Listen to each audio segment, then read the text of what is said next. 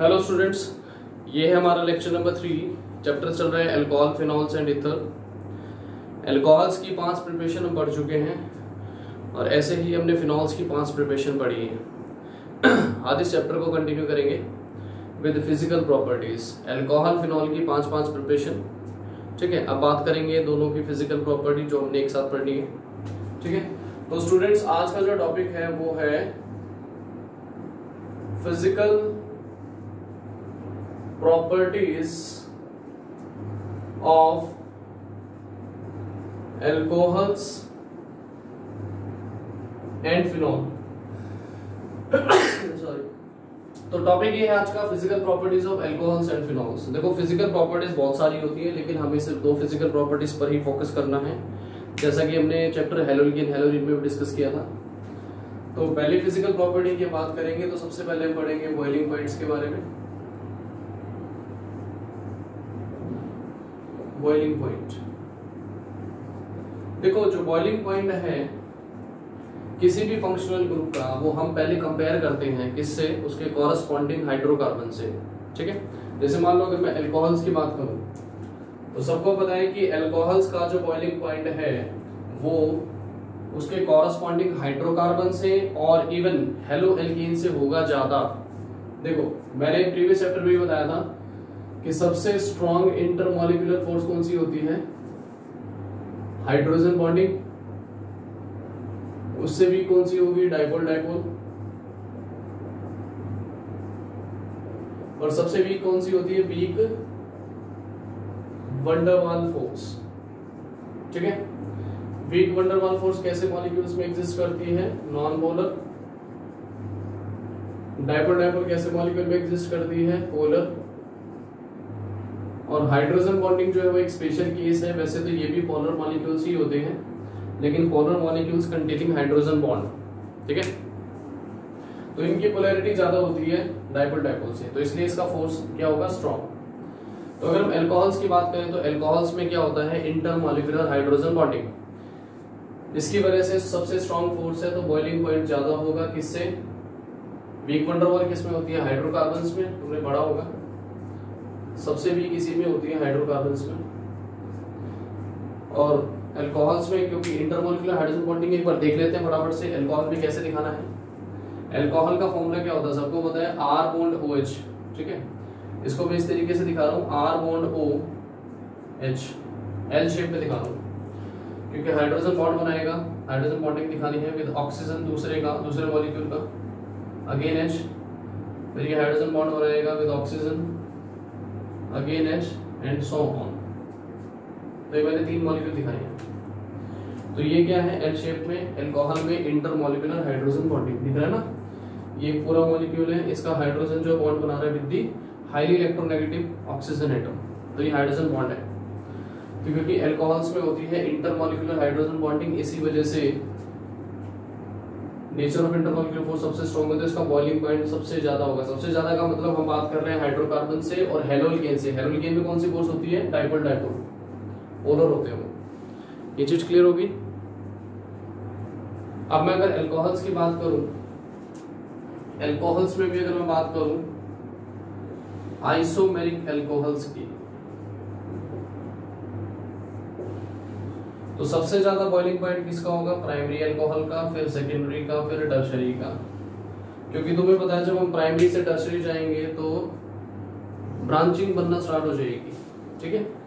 Primary होगा straight chain second branch होगा tertiary होगा हाईली ब्रांच तो ब्रांचिंग होने से हायर ब्रांचिंग होने से क्या होता है? सरफेस एरिया कम हो जाता है और सरफेस एरिया कम होने से मॉलिक्यूल के बीच में इंटरमोलिकुलर फोर्स हो जाता है कम। तो बॉइलिंग पॉइंट क्या होगा? कम। तो सबसे ज़्यादा बॉइलिंग पॉइंट किसका होगा? प्राइमरी एल्कोहल का। हमेशा याद रखना, हमने क्लास इलेवंथ में पढ़ा था। अगर स्ट्रेट चेन होगी तो मॉलिक्यूल्स वेल पैक्ड होंगे, ठीक है? वेल पैक्ड होंगे तो इंटरमोलिकुलर फोर्स होगा स्ट्रॉन्ग और अगर ब्रांचिंग होगी तो ब्रांचिंग होने से क्या होगा? सरफेस एरिया डिक्रीज करता है। सरफेस एरिया डिक्रीज होने से इंटरमोलिकुलर फोर्स डिक्रीज हो जाती है। और फोर्स डिक्रीज होगी तो बॉइलिंग पॉइंट भी क्या होगा? कम। आई थिंक ये चीज़ तुम्हें समझ आ गई है। ये मैं एल्कोहल्स की बात कर रहा हूँ आइसोमर्स ठीक है? आइसोमेरिक एल्कोहल्स की। चलो, ये चीज़ क्लियर हो गई सबको? इसके बाद हम आज बात करेंगे फिनॉल्स के बॉइलिंग पॉइंट की, ठीक है? ये तो एल्कोहल्स की बात हो रही है, क्योंकि एल्कोहल फिनॉल की फ़िज़िकल प्रॉपर्टीज़ हम एक साथ पढ़ रहे हैं। ठीक है, ये चीज़ क्लियर हो गया, हम बात करते हैं फिनॉल्स की। अच्छा फिनॉल का भी बॉइलिंग पॉइंट जो है, अगर मैं कंपेयर करूँ उसके कॉरेस्पॉन्डिंग हाइड्रोकार्बन से या हेलो एरिन से तो फिनॉल का भी बॉइलिंग पॉइंट ज़्यादा होगा अगेन क्योंकि फिनॉल्स में भी क्या होती है इंटरमोलिकुलर हाइड्रोजन बॉन्डिंग कैसे दिखाना है? कुछ नहीं करना, बिल्कुल सिंपल है। ठीक है, ये एल्कोहल है फिनॉल का फॉर्मूला क्या होता है? आर बॉन्ड ओ एच सबको पता ही होगा। यहाँ पे एल्काइल है, यहाँ पे एराइल है। तो इस आर की जगह रिंग बना दो, बस तुम्हें ये काम करना है। कोई भी बना सकता है। टी शेप में रखना इसको। ठीक है, इस को ऊपर ना जोड़ के नीचे भी जोड़ सकते हो, कोई दिक्कत नहीं है, वो तो एक ही बात है। कैसे भी बना सकते हो। ठीक है? एक साइड भी कनेक्ट कर सकते हो, दो साइड भी कनेक्ट कर सकते हो, कोई इशू नहीं। तो ये क्या है intermolecular hydrogen bonding in phenol अब हाइड्रोजन बॉन्ड सबसे स्ट्रॉन्ग होता है तो बॉइलिंग पॉइंट ज़्यादा होगा। फिनॉल का उसके कॉरेस्पॉन्डिंग हाइड्रोकार्बन से कंपेयर कर लो, चाहे हेलो से। ये चीज़ क्लियर होगी।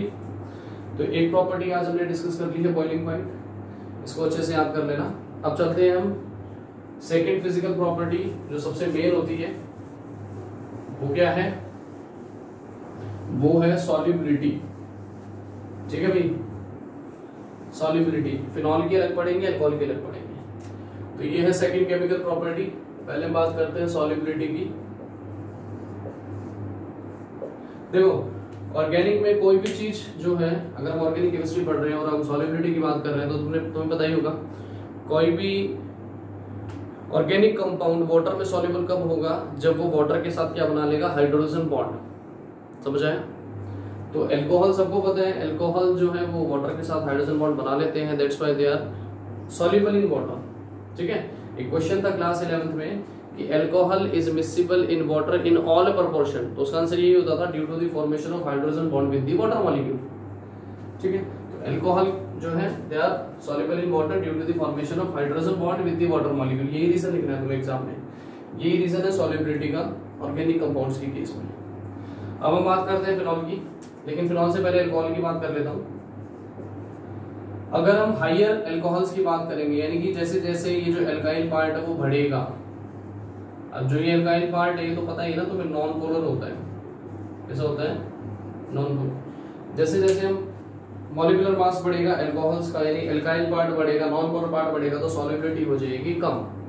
क्योंकि कहावत ये भी है like dissolves like water is a polar molecule और ये नॉन पोलर पार्ट बढ़ेगा नॉन पोलर पोलर में डिजोल्व होता नहीं तो सॉलिबिलिटी हो जाएगी कम। ऐसे ही अगर मैं फिनॉल की बात करूँ सिंपल फिनॉल की फिनॉल तो एक ही कंपाउंड होता है ये, इसको फिनॉल कहा है हमने। एरोमेटिक एल्कोहल तो फिनॉल की अगर बात करूँ तो फिनॉल जो है वाटर में स्पेरिंगली सॉल्युबल है। स्पेरिंगली का मतलब लेस सॉल्युबल है। बहुत ही कम सॉल्युबल है। रीजन क्या है? क्योंकि इसका जो आर पार्ट है, जो कि क्या है? नॉन पोलर कह लो या हाइड्रोफोबिक पार्ट कह लो एक ही बात है। ये बड़ा है। क्योंकि इसका जो हाइड्रोफोबिक पार्ट है अल्कोहल के कंपैरेटिव ये बड़ा होता है। तो इसी वजह से इसकी सॉलिबिलिटी वाटर में कम होती है कंपैरेटिवली टू अल्कोहल्स तो चीज़ क्लियर होगी फ़िज़िकल प्रॉपर्टीज़ दो ही पढ़नी है। एक सॉलिबिलिटी और एक boiling point boiling point student जब भी कंपेयर करोगे तो इंटरमोलिकुलर फोर्सेज देखनी है उसमें क्या है, उसमें क्या है। कौन से स्ट्रॉन्ग है, उसके हिसाब से बॉइलिंग पॉइंट निकालेंगे। और अगर हम बात करते हैं सॉलिबिलिटी की तो हम बात, हम ये देखेंगे कि क्या वो कंपाउंड वाटर में वाटर में अगर डिजोल्व होता है तो इसका मतलब वाटर के साथ क्या बनाएगा? हाइड्रोजन बॉन्ड चीज़ें क्लियर होगी चलो, अब हम चलते हैं आगे। इसके बाद हम पढ़ेंगे आज सॉलिबिलिटी हो गई है। इसके बाद हम केमिकल प्रॉपर्टीज़ को करेंगे स्टार्ट तो एल्कोहल की पाँच प्रिपरेशन फटाफट से बताता हूँ किस किस से पढ़ी थी। सबसे पहले एल्कोहल की प्रिपरेशन पढ़ी थी फ्रॉम संजीवनी बूटी हेलो एल्किन ठीक है? दूसरा एल्कीन से पड़ा बाय हाइड्रेशन डायरेक्टली इनडायरेक्टली दो टाइप से। और इसी में आती है हाइड्रोकोरेशन ऑक्सीडेशन तो एल्कीन से बनाया हेलोल्किन से बनाया तीसरा फ्रॉम कार्बोनाइल कंपाउंड यानी एल्डिहाइड कीटोन जिसमें मैंने गुरु मंत्र दिया था फॉर्मेट दिया था रिडक्शन कराकर इसमें हमने क्या लिया था? एल्डिहाइड कीटोन कार्बोक्सिलिक एसिड और ester preparation number four from Grignard reagent इसमें ग्रिगनार्ड को ट्रीट कराया था विद कार्बोनाइल कंपाउंड यानी एल्डिहाइड और कीटोन इसमें हमने पढ़ा था कि फॉर्मेल्डिहाइड देता है primary alcohol any other aldehyde will give secondary alcohol और कीटोन देगा tertiary alcohol preparation number five from primary from aliphatic primary amine जब उसको ट्रीट कराएँगे विद नाइट्रस एसिड ये नाइट्रस एसिड टेस्ट भी है चैप्टर फोर में। इसके बाद पढ़ी हमने पाँच प्रिपरेशन फिनॉल की, जिसमें रिएक्शन रिपीट थी डोज प्रोसेस फ्रॉम हेलोरिन यानी फ्रॉम क्लोरोबेंजीन से बनाया था फिनॉल एक बनाया था from diazonium salt with boiling water के साथ हाइड्रोलिसिस किया था। तीसरा बनाया था फ्रॉम बेंजीन सल्फोनिक एसिड जिसको एनएच के साथ फ्यूज कराया था। चौथी हमने पढ़ी थी from again Grignard agent aerial oxidation further followed by hydrolysis और पांचवी पढ़ी थी फ्रॉम हमने cumene again aerial oxidation followed by hydrolysis same physical हो गई अब हम डिस्कस करेंगे केमिकल प्रॉपर्टीज़ एल्कोहल फिनॉल की। केमिकल प्रॉपर्टीज़ भी दोनों की एक साथ ही पढ़ेंगे, ठीक है? तो आज का जो हमारा टॉपिक है केमिकल रिएक्शन या केमिकल प्रॉपर्टीज़ पढ़ेंगे। उसमें पहली कौन सी पढ़ेंगे हम? Reactions involving cleavage of OH bond ये प्रॉपर्टी बहुत बड़ी है, ठीक है? इसको बड़े ध्यान से समझे।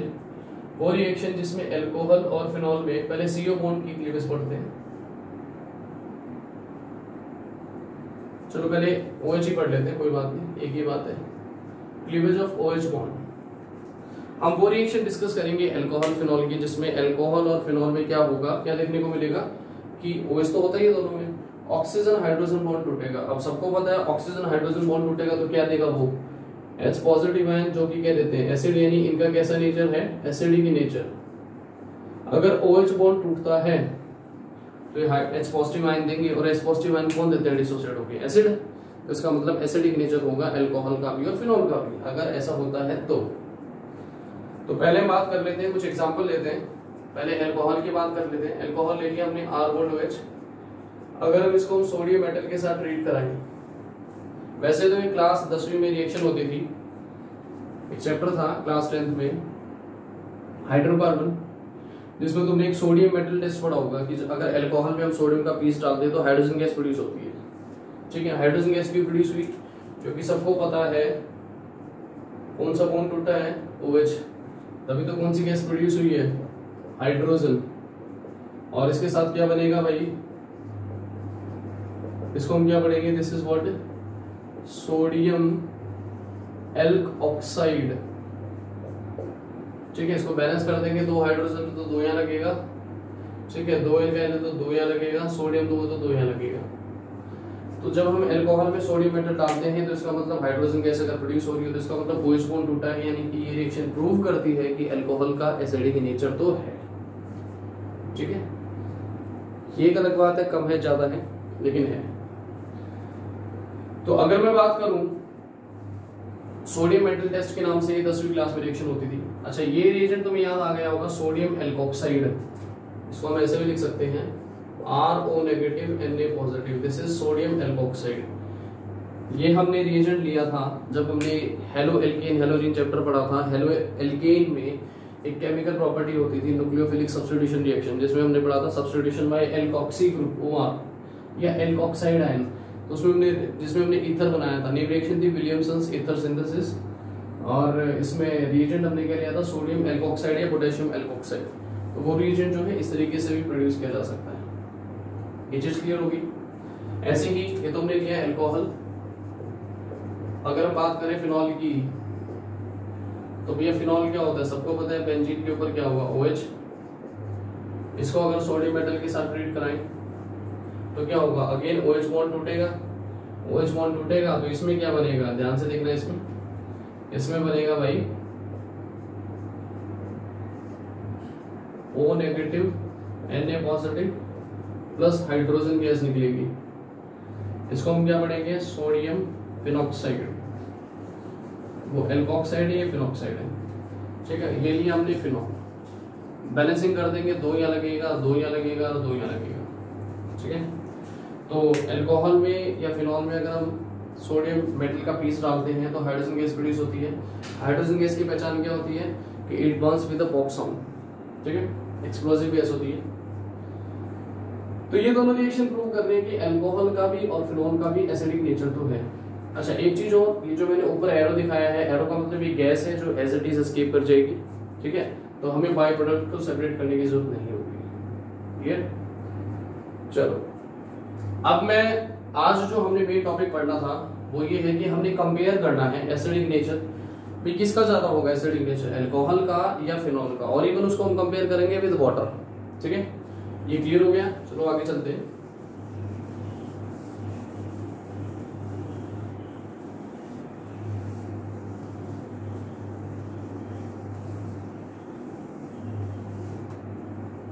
देखो, हमेशा याद रखना सबसे ज़्यादा एसिडिक होता है भाई फिनॉल। उसके बाद होता है वाटर। वैसे तो तुमने पढ़ा होगा कि वाटर न्यूट्रल होता है। ठीक है? लेकिन वाटर की भी कुछ ना कुछ पीएच वैल्यू होती है और कुछ ना कुछ पीओएच भी होता है। PH pH and p of OH.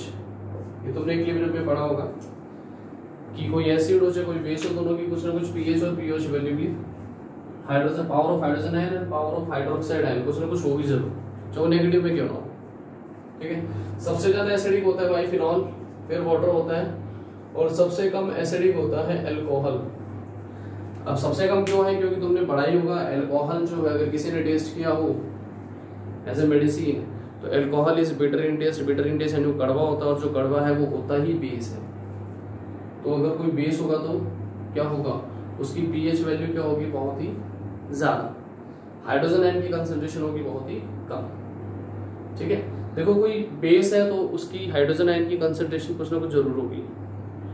Acid की ज़्यादा होगी ऑफ़ कोर्स बेस की कम। लेकिन बेस की कुछ ना कुछ तो होगी ना। तो इन टर्म्स ऑफ़ पीएच हम इसको पढ़ रहे हैं कि फिनॉल सबसे ज़्यादा एसिडिक होगा, फिर वाटर और फिर एल्कोहल अब एल्कोहल में भी सबसे ज़्यादा एसिडिक होता है प्राइमरी एल्कोहल फिर सेकेंडरी और फिर टर्शरी फ़िलहाल तो इसको एसिडिस तो लर्न करना है। अभी हम डिस्कस कर लेते हैं। आज ये टॉपिक हमें करना है डिस्कस हम कंपेयर करेंगे इनके एसिडिक नेचर को। ठीक है? तो सबसे पहले हम कौन सा केस उठा लेते हैं अभी? पहला केस हम उठाते हैं वाटर का और एल्कोहल का। ठीक है? Comparison of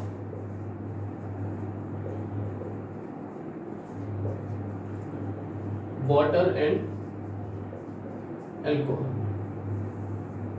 ठीक है? देखो भाई वाटर का फॉर्मूला सबको पता है H2 होता है, इसको मैं ऐसे लिख सकता हूँ।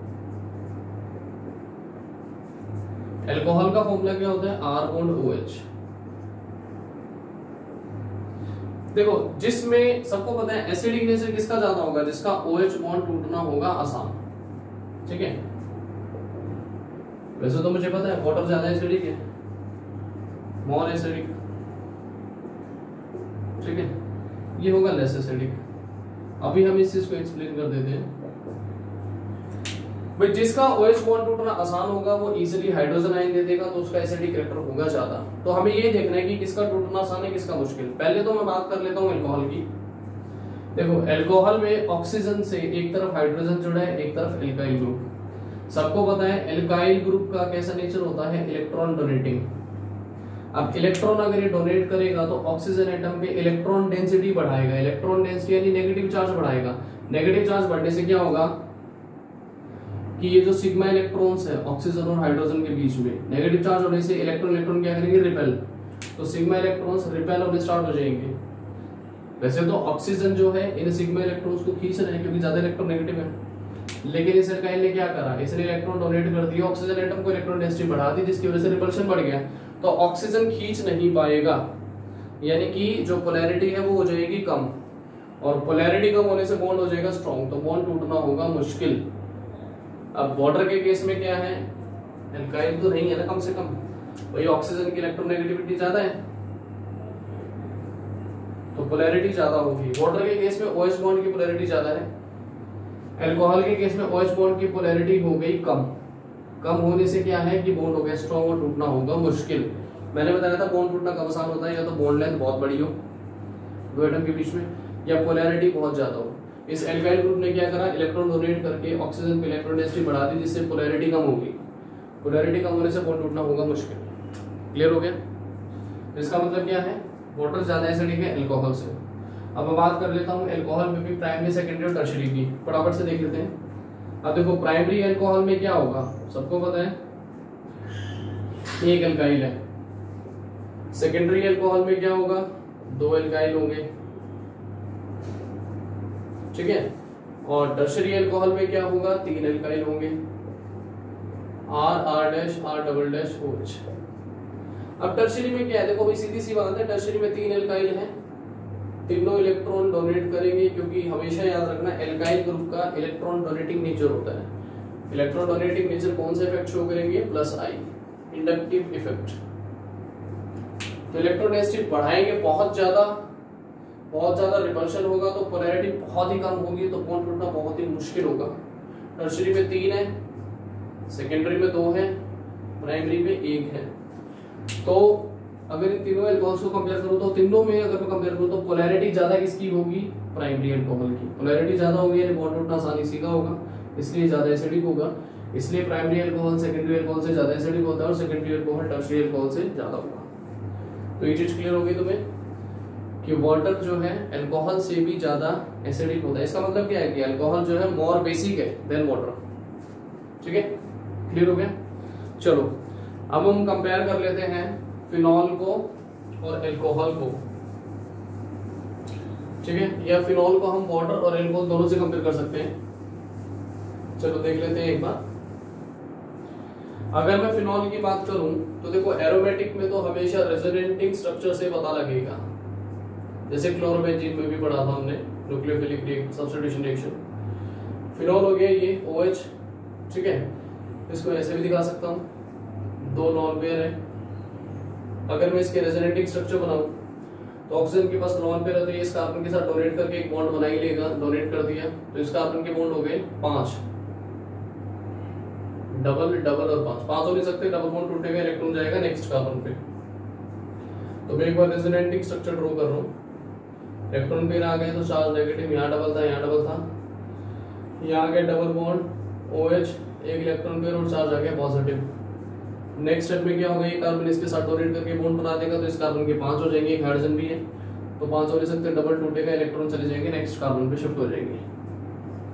तो इसका नेक्स्ट रेजोनेटिंग स्ट्रक्चर क्या बनेगा देखो, यहाँ डबल ये इलेक्ट्रॉन पेयर यहाँ डबल ये ओ एच इलेक्ट्रॉन पेयर और चार्ज पॉजिटिव ठीक है? इसके बाद इस कार्बन पे इलेक्ट्रॉन पेयर है तो ये इसके साथ डोनेट करके बॉन्ड बना देगा तो इसके पाँच हो जाएँगे, पाँच हो नहीं सकते डबल टूट जाएगा इलेक्ट्रॉन नेक्स्ट कार्बन पे चला जाएगा। इस तरीके से हम इसकी डीलोकलाइजेशन दिखा सकते हैं। डबल नेगेटिव ऊपर तो सारा सेम ही है। आखिरी स्टेप आखिरी स्टेप में क्या होगा? कि इलेक्ट्रॉन पेयर इसके साथ डोनेट करके बॉन्ड बना देगा डबल टूट जाएगा, वापस ऑक्सीजन के पास चले जाएँगे। और स्ट्रक्चर बनेगा double double double single O OH अब रेजोनेटिंग स्ट्रक्चर जो है वो उसमें हमें नोटिस करने होते हैं ये वाले, पहला और आखिरी छोड़ के, क्योंकि पहला और आज तो एक सेम ही चीज़ होता है। अंदर के स्ट्रक्चर्स देखने हैं। अब देखो ध्यान से। अंदर के स्ट्रक्चर्स में क्या देखने को मिल रहा है कि ऑक्सीजन और हाइड्रोजन में ऑक्सीजन ने एक्वायर कर लिया। ये कौन सा इफ़ेक्ट है? रेजोनेंस इफ़ेक्ट है। इसको हम पढ़ेंगे plus R effect electron donate करा है रिंग को। बेंजीन रिंग से जो एटम जुड़ा है, उसने रिंग को डोनेट कराया तो ये प्लस आर है। रिंग से विड्रॉ करता तो माइनस आर ठीक है? जिसके पास नॉन पेयर होंगे, वो तो हमेशा रिंग को डोनेट करेगा, ये तो सबको पता है। ठीक है? इलेक्ट्रॉन विड्रॉइंग में तो दो ही बताए थे मैंने। तो नाइट्रो और एक कार्बन है। इस चीज़ का बड़ा ध्यान रखना है। ये दोनों किसमें आते हैं? इलेक्ट्रॉन विड्रॉइंग ग्रुप में। अब फिनॉल के केस में क्या है कि due to plus R effect in phenol due to the resonating resonance effect in phenol oxygen acquires positive charge जिसकी वजह से क्या है? ऑक्सीजन जो है, देखो ऑक्सीजन हाइड्रोजन के इलेक्ट्रॉन को खींच तो रही है, क्योंकि ज़्यादा इलेक्ट्रॉन नेगेटिव है। और पॉजिटिव चार्ज आने से सिग्मा इलेक्ट्रॉन्स को स्ट्रांगली अट्रैक्ट करेगा, जिसकी वजह से पोलैरिटी बहुत ज़्यादा बढ़ेगी। पोलैरिटी बहुत ज़्यादा बढ़ेगी तो बॉन्ड टूटना होगा आसान। इसलिए फिनॉल सबसे ज़्यादा एसिडिक होता है। यानी ऑक्सीजन पर जितना ज़्यादा पॉजिटिव चार्ज होगा, उतनी पोलैरिटी बढ़ेगी। और जितना ज़्यादा नेगेटिव चार्ज होगा, उतनी पोलैरिटी घटेगी। पोलैरिटी घटने से बॉन्ड स्ट्रांग होगा पोलैरिटी बढ़ने से बॉन्ड होता है वीक और टूटना होगा आसान। तो एसिडिक करेक्टर होगा ज़्यादा तो स्टूडेंट्स आई होप कि तुम्हें समझ आ गया है ये टॉपिक कि सबसे ज़्यादा एसिडिक नेचर किसका होगा? फिनॉल का, फिर वाटर का, फिर एल्कोहल्स एल्कोहल्स में भी सबसे ज़्यादा प्राइमरी एल्कोहल फिर सेकेंडरी एल्कोहल और फिर होगा टर्शरी एल्कोहल ठीक है? अब हम इसमें एक टॉपिक और इसमें हम कनेक्ट करेंगे। यहाँ तक क्लियर हो गया सबको? चलो। अब अगर हम बात करें, बहुत इंटरेस्टिंग चीज़ बताना चाहूँगा। कि फिनॉल का इतना ज़्यादा एसिडिक नेचर होता है। सबसे ज़्यादा एसिडिक तो है ही, सबको पता है।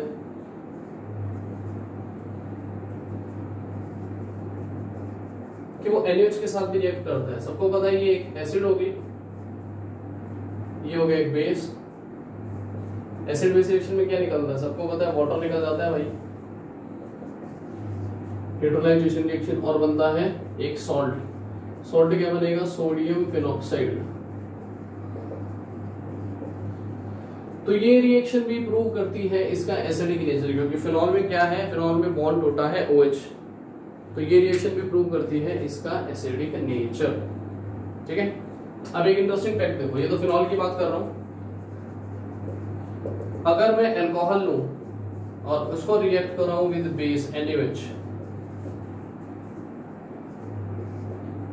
तो क्या होगा? बता सकते हो? चलो मैं बता देता हूँ। क्या बनेगा? वो रिएक्ट नहीं करेंगे। क्यों नहीं करेंगे? ये बेस है। ये लीस्ट एसिडिक यानी कि मोर बेसिक और बेस बेस के साथ रिएक्ट नहीं करता है। इस चीज़ का ध्यान रखें। तो ये रिएक्शन जो है अल्कोहल फिनॉल में हम डिस्टिंग्विश करने के लिए भी यूज़ कर सकते हैं। डिस्टिंग्विश टेस्ट में भी काम आ सकती है। तो इस चीज़ को बड़े अच्छे से समझ लो और इसको याद रखना ठीक है?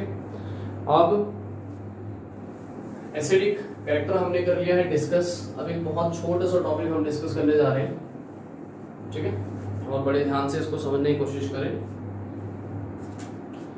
अब जो नेक्स्ट टॉपिक इसमें आता है, वो है effect of substituents on acidic nature of phenol तो मान लो अगर फिनॉल से कुछ सब्सटीट्यूएंट जुड़े हैं रिंग में, जैसे मिथाइल मिथॉक्सी ठीक है? कोई भी अगर सब्सटीट्यूएंट रिंग से जुड़ा है फिनॉल में तो उनका क्या इफ़ेक्ट पड़ता है फिनॉल के एसिडिक नेचर पे? देखो भाई, साफ़ सीधी सी बात है, दो तरह के ग्रुप जुड़ेंगे रिंग में। कोई भी अगर ग्रुप जुड़ा है तो वो या तो होगा इलेक्ट्रॉन विड्रॉइंग ग्रुप और या तो होगा इलेक्ट्रॉन डोनेटिंग ग्रुप ठीक है? क्लियर अब सबको ये तो पता ही है कि अगर हम फिनॉल का एक्वस सॉल्यूशन लेते हैं एक्वस यानी कि वाटर चलो इसको इस तरीके से लिख लेता हूँ। अगर हम फिनॉल का एक्वस सॉल्यूशन लेते हैं तो क्योंकि तुमने पढ़ा होगा, अगर ये एसिड है तो एसिड क्या होती है? एसिड वो होती है when it is dissolved in water it dissociate to give hydrogen ion यानी कि ये डिसोसिएट हो जाएगा। क्या बनाएगा ये? फिनॉक्साइड आयन और क्या दे देगा? एच पॉजिटिव अगर मान लो यहाँ पे मैं बैलेंसिंग के हिसाब से लिखना चाहूँ वाटर ले लिया, ठीक है? तो ये क्या बन जाएगा? ये बन जाएगा हाइड्रोनियम आयन ठीक है? ये क्या बनाएगा? फिनॉक्साइड आयन यानी अगर आप एक्वस सॉल्यूशन लोगे फिनॉल का तो फिनॉक्साइड आयन तो बनेगा ही बनेगा। क्यों? क्योंकि इसका एसिडिक नेचर है। और सबने पढ़ा है दसवीं क्लास में कि एसिड वो होती है when it is dissolved in water it dissociates to produce hydrogen ion hydrogen ion कब आएँगे? जब OH बॉन्ड टूटेगा यानी फिनॉक्साइड आयन तो बनेगा ही बनेगा। तो हम बात कर रहे हैं कि फिनॉल से अगर कोई सब्सटीट्यूएंट जुड़ा हो फिनॉल फिनॉक्साइड तो बनाएगा? ये तो कंफर्म है, क्योंकि इसका एसिडिक नेचर है। तो मान लो अगर फिनॉल से कुछ सब्सटीट्यूएंट जुड़े हैं लाइक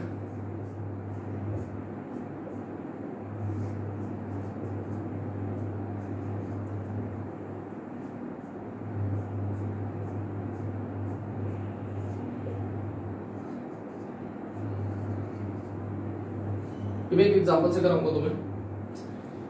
देखो सबको पता है फिनॉल फिनॉक्साइड तो बनाएगा ही ठीक है?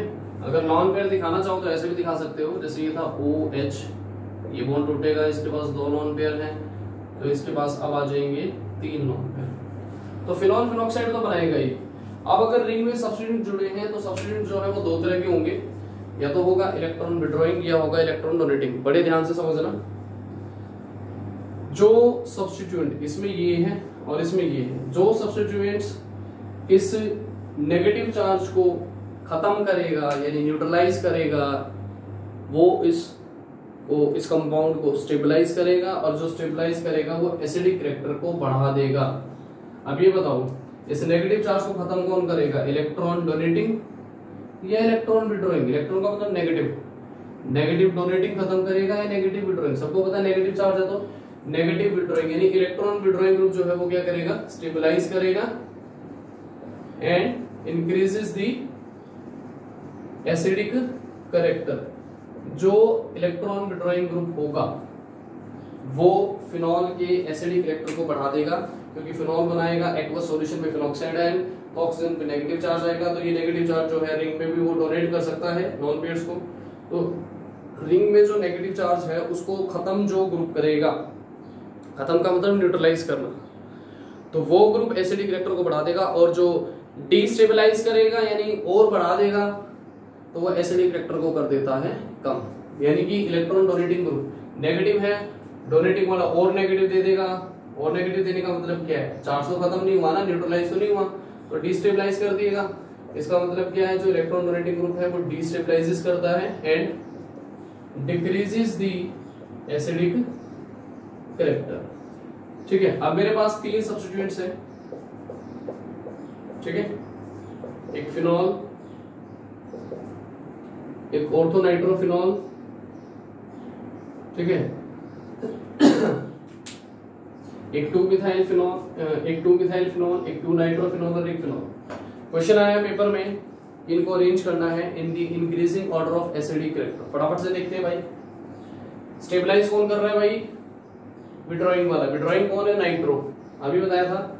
इलेक्ट्रॉन विड्रॉइंग ग्रुप दो ही हैं जो क्लास ट्वेल्थ में यूज़ होते हैं। एक तो कार्बोनाइल और एक नाइट्रो विड्रॉइंग है तो इसका मतलब सबसे ज़्यादा एसिडिक ही होगा। उसके बाद होगा फिनॉल क्योंकि इसमें कोई ग्रुप ही नहीं जुड़ा है। कम से कम बढ़ा तो नहीं रहा ना। एल्काइल डोनेटिंग है डिस्टेबलाइज करेगा एसिडिक करेक्टर घटाएगा तो सबसे कम एसिडिक होगा ही। तो इस तरह के स्टूडेंट जो है क्वेश्चन जो है एप्लीकेशन बेस्ड क्वेश्चन सीबीएसई में पूछे जाते हैं कि अरेंज करो in the in their increasing acidic order और in their decreasing acidic order ठीक है? तो आई होप तुम्हें समझ आ गया होगा। क्लियर है? चलो तो आज लेक्चर हम ये खत्म करते हैं, ठीक है? यहाँ तक इसको अच्छे से पढ़ें। और लेक्चर खत्म करने से पहले एक एनसीईआरटी का क्वेश्चन है, इस टॉपिक पर बेस्ड इन टेक्स्ट क्वेश्चन है, उसको आप आज पढ़ेंगे। उसमें चार पाँच कंपाउंड है, ठीक है? टू फोर नाइट्रो फिनॉल, ठीक है? Two four di nitrophenol two four two four six tri nitrophenol phenol, ठीक है?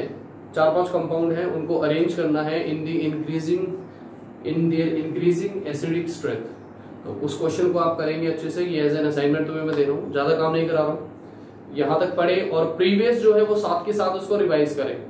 इस केमिकल प्रॉपर्टी को हम आगे कंटिन्यू करेंगे। ठीक है? जब हमारा नेक्स्ट लेक्चर होगा, यानी कि कल। यहाँ तक थॉरली पढ़ ले और इसको लिखे, याद करें और इसको रिवाइज करें बार बार ठीक है? चलो।